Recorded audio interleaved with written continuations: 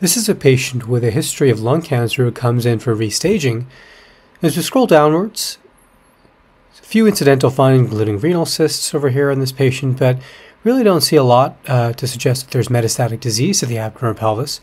However, when we look at the kidneys, uh, we do notice that uh, there's some abnormality not within the parenchyma itself that uh, is of concern, but surrounding the parenchyma, the perinephric fat.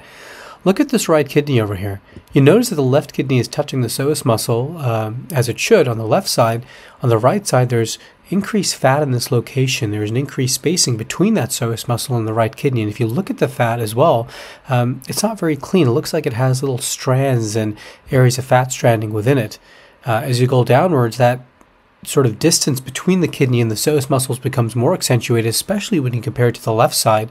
And with all these areas of uh, stranding and septations within it, as you go downwards as well, you can start to see that the uh, fat inferior to the kidney also looks uh, very complex with septations, a little bit of fluid and stranding.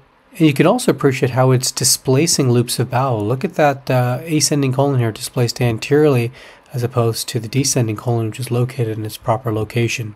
And so these findings are, are a little bit subtle, but uh, certainly uh, increased fat in that location. It looks very complex.